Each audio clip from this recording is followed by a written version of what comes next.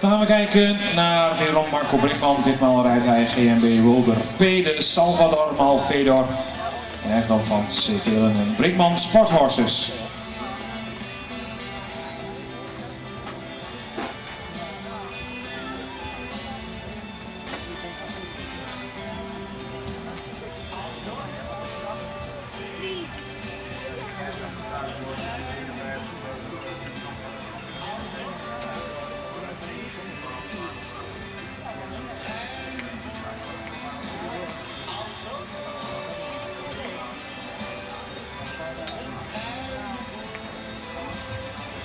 Tweede willen binnenlating voor de prijsuitreiking de volgende combinaties. De nummer 326 wordt gekregen. De nummer 3 Vincent Geren. De nummer 306 Gert Venema.